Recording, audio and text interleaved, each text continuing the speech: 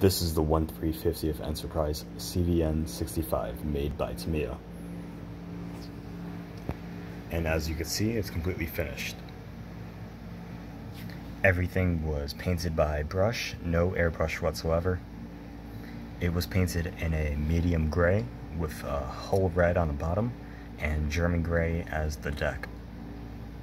So the, all the gray that you see is medium gray except for the planes. Those are uh, sky gray.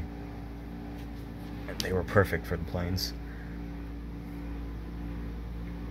This kit is very well done, except uh, a few things, minor things really. Just the deck, it leaves a few gaps as you can see over here and here. So you could fill those in. Um, I didn't, but it looks fine.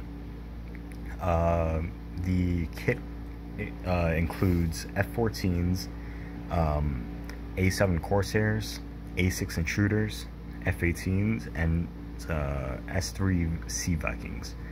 I included H-3H Sea Kings and E-2C Hawkeyes, which I bought a Tamiya aircraft set number two. So you you can see it right here.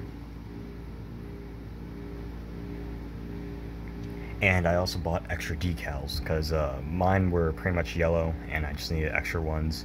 So here they are.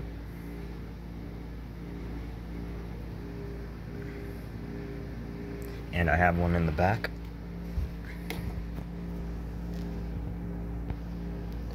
Um, the the deck also has eight vehicles.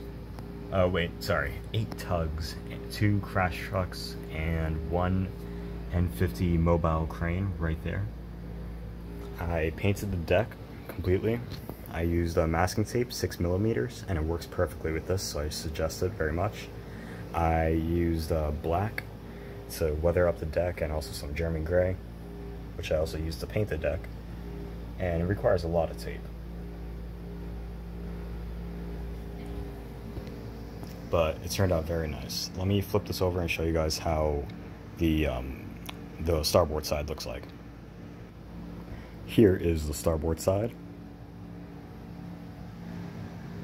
We have the Sea Sparrow missile launcher right there. I added two pipes over here as paperclip. It's very easy. Uh, all you have to do is just bend it, make sure it's shaped like the way you want.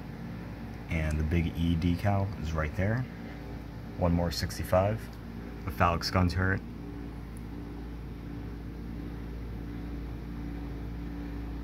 And uh, some light rusting on the bell.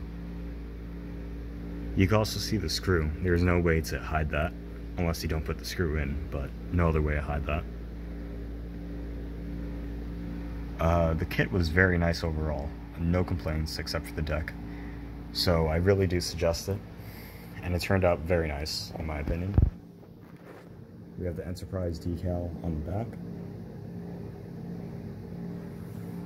And, um, yeah, I'll list everything that I bought extra with the Enterprise and how long it took and everything. But I would say it just took a, a month or so with on again and off again work. But yeah, here it is. I have two F-14s uh, ready to take off and an H-3H Sea King ready to take off as well. Probably in the future I will buy um, one 350 of figures to add to the deck, but for now it's like this. So yeah, thanks for watching guys.